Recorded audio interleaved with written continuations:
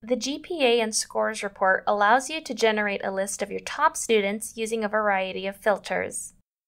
Located under the Students section of the Administrator Reports tab, accessing the GPA and scores report will take you to a page showing a list of academic terms on the right, a selection of configurable fields on the left, and a preview of the report that will be generated.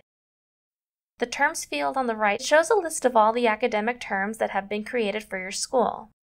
Terms whose grades have been finalized will display transcript at the end of their name, while terms whose grades have not been finalized will show active. It is important to note that this field will pull data from transcripts that have had additional or custom terms added to them. For example, if an administrator manually added a class taken in middle school to a high school student's transcript, that term will show up here even if it doesn't appear in the Terms tab.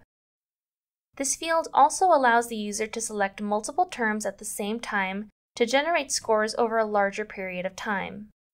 Pay close attention to what type of term you are selecting, however.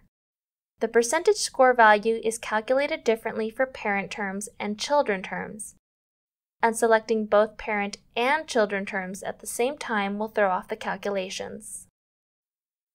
Once you've selected the academic terms you would like to view, you can begin to narrow down your selection via the fields on the left. Current grade level allows you to select only students in a particular grade. If your term selection spans multiple academic years, students will be filtered based on their highest grade level during that period. The next field allows you to view a specific number of students from either the top or bottom of the class based on their GPA or percentage score. You can further narrow down the selection to view only GPA values between a specified range. Keep your grade scale in mind, especially if you have honors classes.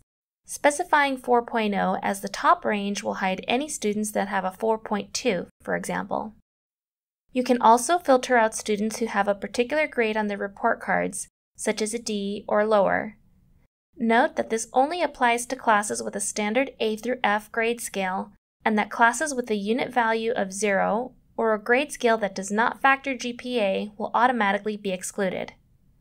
Finally, you can limit the report to include only classes with specified report titles.